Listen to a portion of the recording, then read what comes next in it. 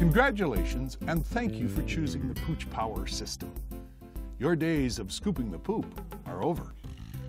To assemble your Pooch Power shovel, align the yellow arrows and turn the motor assembly a quarter turn to the right until it locks into place.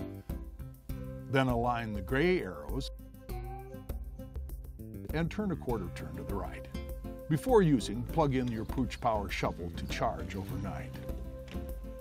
Open the container by placing your foot on the side tab and pulling back on the handle or clear tube. Slide the front of the bag through the inlet tube with the arrows pointing up and hang the bag on the hook and back. Wrap it around the outside, over this ridge,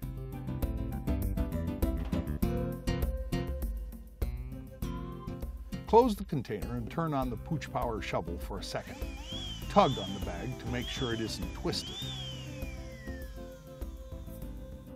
The Pooch Power Shovel works like a vacuum.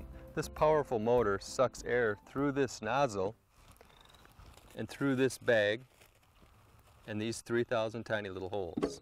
That's why it's so important to attach the bag properly. Slide the front of the bag through this nozzle, hang the back of the bag, and then line up these arrows. Make sure they're pointing up and wrap it around. Make sure it's over the ridge and that this seam is pointing up.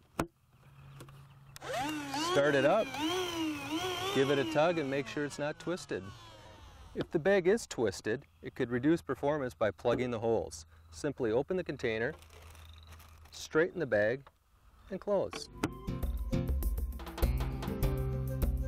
Squeeze the trigger to start the Pooch Power shovel and push the nozzle into the waste. Most of it will disappear into the waste bag immediately. If it's slow to pick up, let go of the black handle and shake it slightly like this. It'll pop right in. It's all in the wrist action. After cleaning up a few piles, point the nozzle into the air. Gravity will pull the waste to the back of the bag so it doesn't clog the nozzle, and you can continue to pick up waste. If you get a large piece stuck in the tube, tap the back of the container while running the motor. When working around ground cover, approach from above and you'll avoid picking up small rocks and wood chips. If your dog has very small droppings, you can create a vacuum by rocking it into position and shaking your wrist slightly, like so. This also works on solid surfaces like concrete and asphalt. When you're done picking up the yard, place your foot on the side tab and pull back on the handle. Give the bag a tug and as we like to say, just suck it and chuck it. Periodically, check the debris filter. Remove the clear tube and shake or rinse any dead grass or sand from the filter. Replace the filter and reattach the clear tube. Dump any sand or dead grass out of the lower container.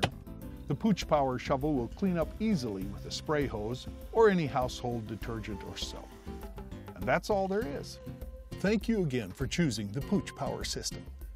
Remember, no more will you scoop the poop.